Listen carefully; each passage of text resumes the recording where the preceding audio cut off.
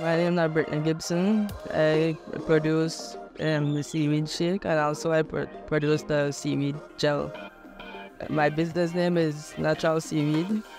I just started making it from home and I had some friends and family try it and they really enjoyed it and they told me to why don't I start it as a business and I gave it a try and I went out from there.